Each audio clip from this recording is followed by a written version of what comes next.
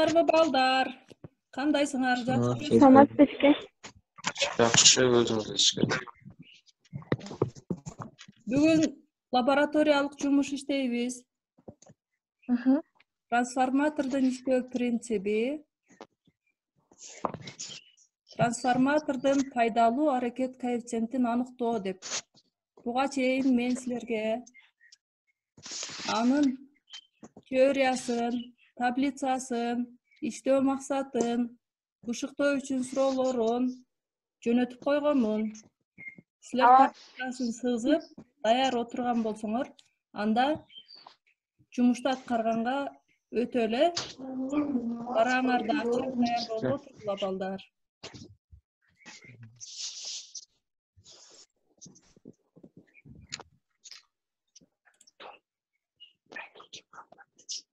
карайбыз бүгүнкү өтө турган лабораториялык иштин трансформатор түзүлүшүн жана иштөө принцибин үйрөнүү э? Көрүнүп атабы балдар? Трансформатордун түзүлүшү жөнүндө иштөө принциби жөнүндө теорияда өткөнбүз бүгүн ошол алган билимдерибизди бышыкташ үчүн алган билимдерибиздин тууралыгын экспериментте далилдешибиз керек. Ал үчүн лабораториялык жумуш аткарып эксперименттин жыйынтыгы менен теориянын жыйынтыгынын дал келгендигин текшеребиз ошон үчүн ишти аткарыш үчүн төмөндөгүдөй максаттарды койдук трансформатордун түзүлүшү менен таанышуу оромдордун санын изилдөө трансформатордун трансформациялоо коэффициентин жана пайдалуу аракет коэффициентин аныктоо. Кайсыл приборлор менен иштейт экенбиз? Лабораториялык трансформатор жылып жүрүүчү реостат эки амперметр эки вольтметр жана туташтыруучу өткөргүчтөр. Биз теориялык материалдан кичине талкуулап коелу силер дагы талкууга кошо катышкыла трансформаторду биринчи жолу яблочков жасап анын ишин ким өркүндөтүп кетти эле усагин деген окумуш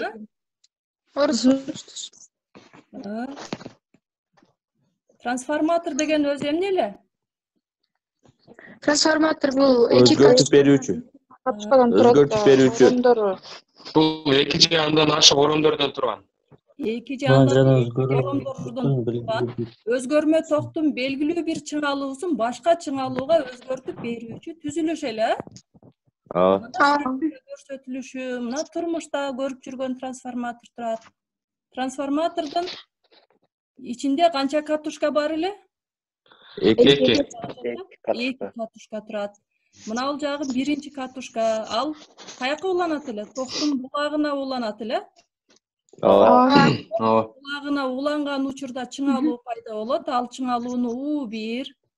Пайда болгон электр кыймылдаткыч күчүн? Э бир. Биринчи катушкада оромдордун санын?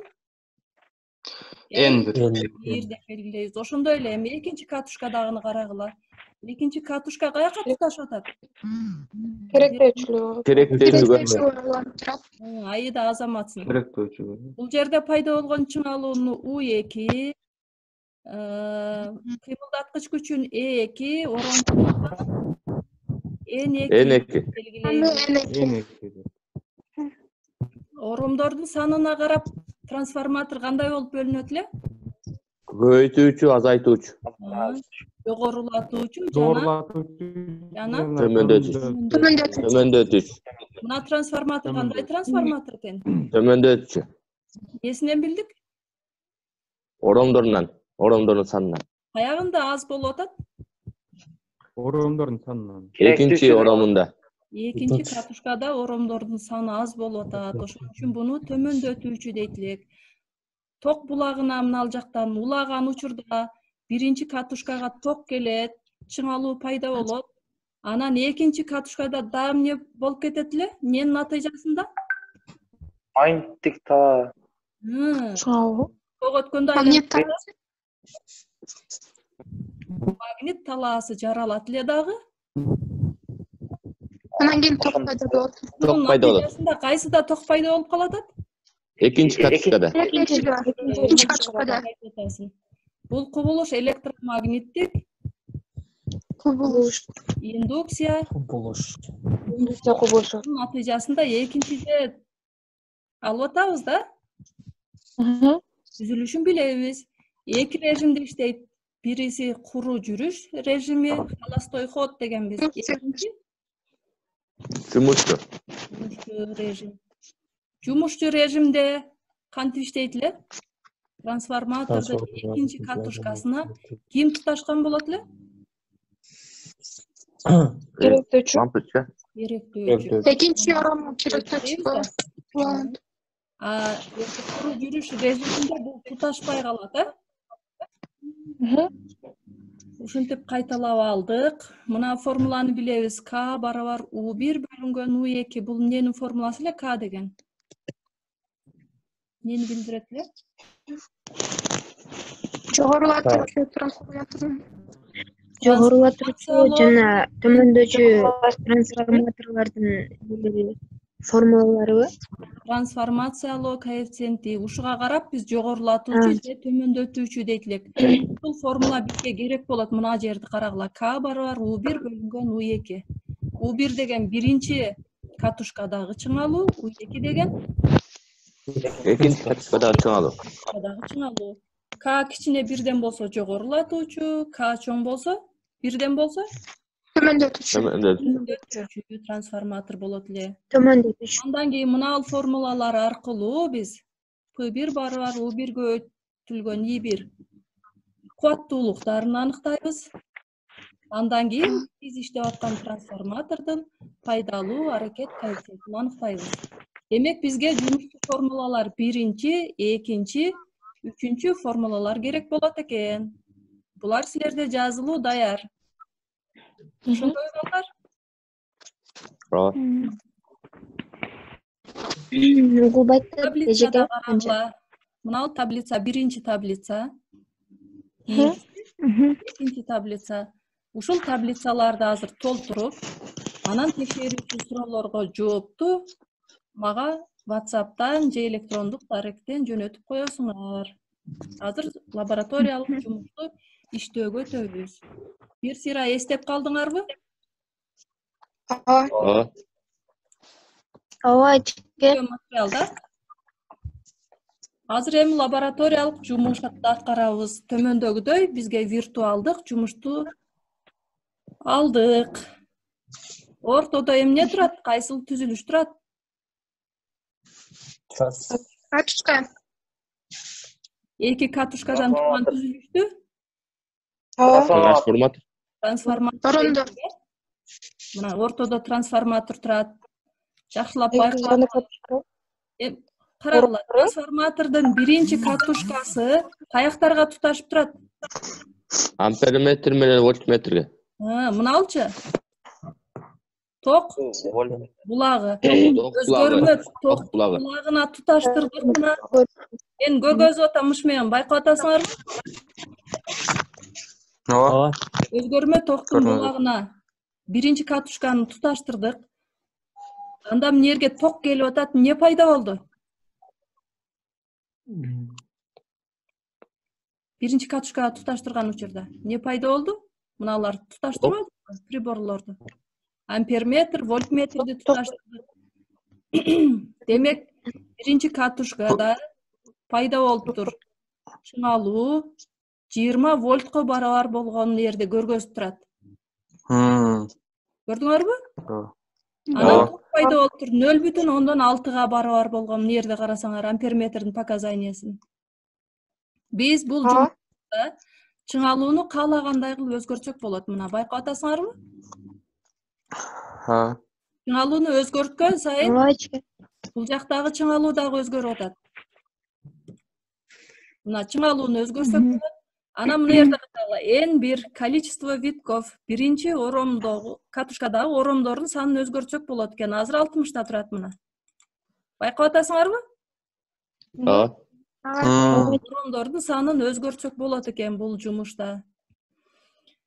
Биринчи учурда карагыла трансформатордун биринчи э, катушкасына ток булагы амперметр вольтметр туташтырылыптыр экинчи жагына карагыла дагы эмнелер туташтырат Ампер, метр, метр метр. Voltmetr. метр, анан дагы бирөө турат мына жерде Неме?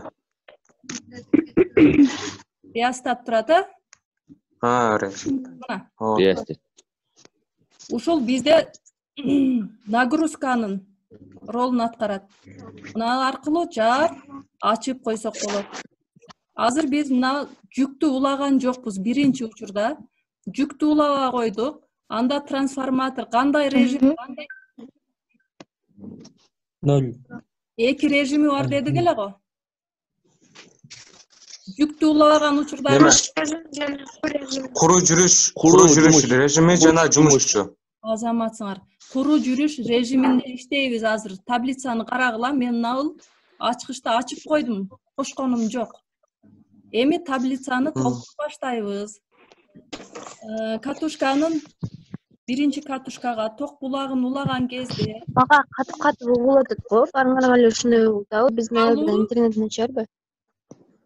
жазабыз сыңалуу у бир барабар. Жыйырмага экен. Таблицанын у бир деген жерине жыйырма деп жазгыла. Жаздык. у эки деген жерине отуз үч бүтүн ондон үч экен. Жаздык. өзгөрмө токтун булагына туташтырганда биринчи жана экинчи катушкадагы чыңалуулар а бул? Жаздыңарбы? Ооба. Голосуңуз угбай атат го эчки. каны табыш каны табыш үчүн биринчи формула менен иштейбиз биринчи формула эмне деп турат у бир бөлүнгөн у эки барабар Кат берет. чыгарып койсок болобу Ооба. жыйырманы бөлөбүз Отуз үч. отуз үч бүтүн ондон үчкө к келип чыгат М, кеттик жаз үлгүрдүңөр э балдар Ооба. бул куру жүрүш режиминде мынакта кошпогон учурда кошумча жүктү эми мен байкагыла кошуп таштадым ачкычты туюктадым байкадыңарбы Ооба. Ооба. ачкычты туюктаган учурда маанилерди дагы жазабыз у бир канча экен Он бир. Жыйырма. жыйырма жазабыз у эки Отуз үч бүтүн ондон үч. отуз үч бүтүн ондон үч дагы табабыз кны К трансформация К бирди. бул кайсыл учур үчүн болду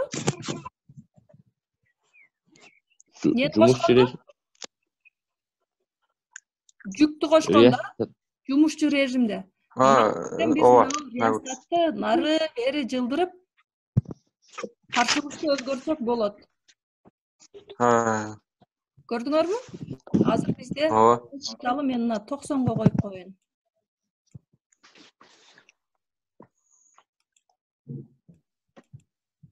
Жазып алдыңарбы? Каны чыгарам нөл бүтүн ондон алты к к нөл бүтүн ондон алты чыгып атат менде Силер Бизде да. керек чыктыбы Ооба чыкты. А, туура эми мына жерде бизде суроо коюп коюптур экинчи катушкадагы оромдордун саны канчага барабар аныктагылачы дейт эн эки барабар суроо дегенди көрүп турасыңарбы Ооба. Болобу катушкада оромдордун саны көп бекен же аз бекен бизде бул трансформатор көбөйтүүчү трансформаторбу же төмөндөтүүчү трансформаторбу Көбөйтүүчү. Көбөйтүүчү. кө- Көбөйтүүчү. кантип билдиңер Эки оромдун саны бирдей экен эчкенин орому. жок. Биринчи катушкада жыйырма, экинчи катушкада отуз үч чыкты да ошого. жок.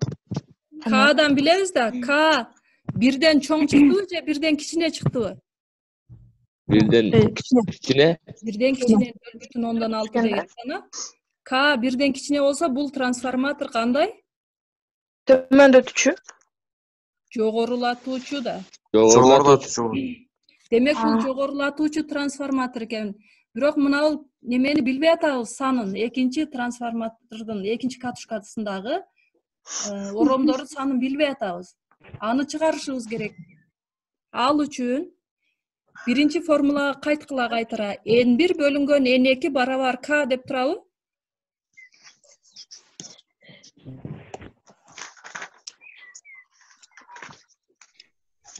н бир бөлүнгөн н эки барабар к.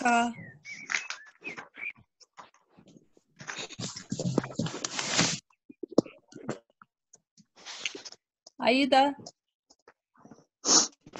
бектур көрдүңөрбү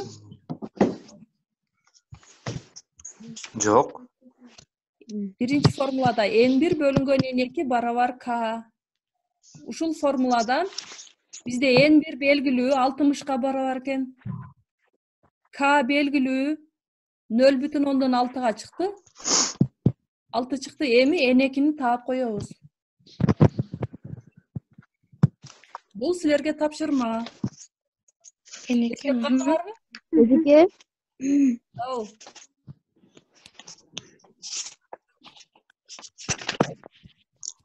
дагы бир кайталап коюңузчу. дагы бир кайталайм биринчи формуладан Дагы бир н бир бөлүнгөн н эки барабар к деген формула турат ооба. бизде мына лабораториялык жумушта биринчи катушкадагы оромдордун саны алтымыш экен кабыз чыкты нөл бүтүн ондон алты деп ортолоруна койсок н эки барабар н бир бөлүнгөн к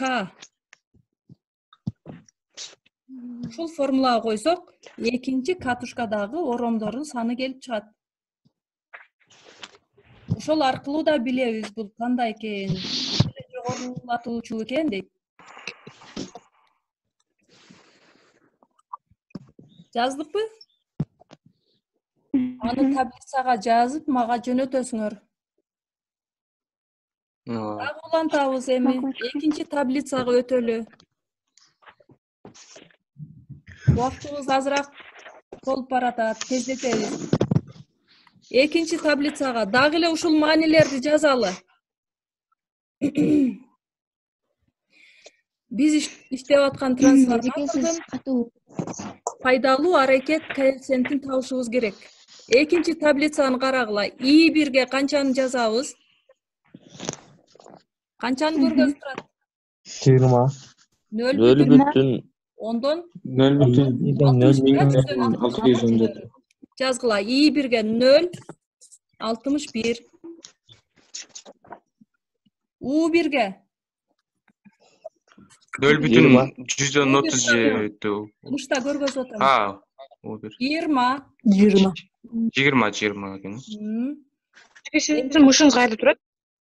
п бир дегенди токтото тургула дагы и экини жазабыз и эки барабар канча Нөл бүтүн жүздөн отуз жети. отуз жети у эки отуз үч Отуз үч бүтүн ондон үч Үч.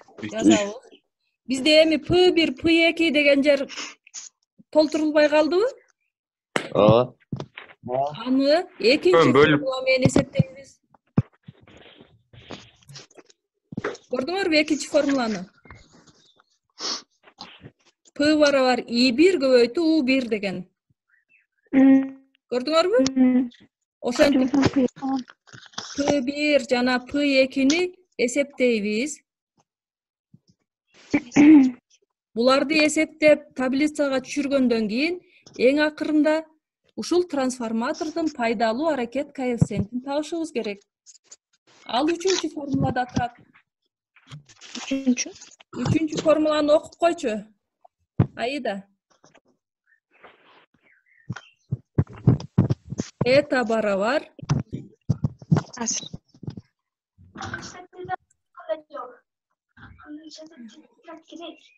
Вектор үчүнчү формула это барабар Каерде турат эчке? Бизге. силер Жеке бизге көрүнүп тетрадыңарда мен бердим го баягы формулаларды мына формулаларга жазып тургула деп эчке көрбөйт А, эта барабар P2 бөлүнгөн P1 деп турат. Таблицада чыгарылган P1 көтүргөн жүз ордуна коюп, процент менен эсептеп чыксаңар, мына трансформатордун пайдалуу аракет коэффициентин эсептеген болобуз. Бул алынган жыйынтыктарды мага жөнөтөсүңөр балдар. Белгилөөлөрдү жазып бүттүңөр балдар? Ооба Жазып бүттүңөр, э? Ушинтип сабагыбыз жыйынтыкталып атат. Бүгүнкү сабакта эмнелерди үйрөнө алдык?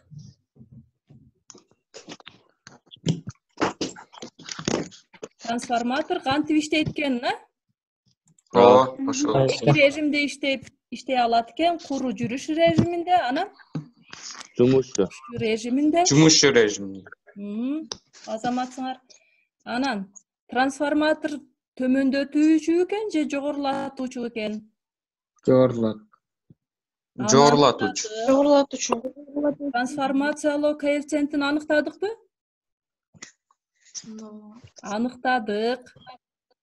Эң аягында пайдалуу аракет коэффициентин силер таап мага жөнөтөсүңөр. Ушуну менен сабагыбыз аягына чыкты. Саламатта болгула, жакшы жүргүлө. Мен силерден жоопту күтөм. макул эжеке саламатта калыңыз